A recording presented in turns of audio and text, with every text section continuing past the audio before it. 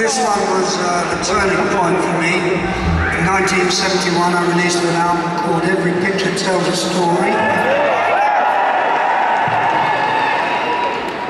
And I'd like to sing this one because the band love playing it. You look at, watch them play this, it's really fucking good.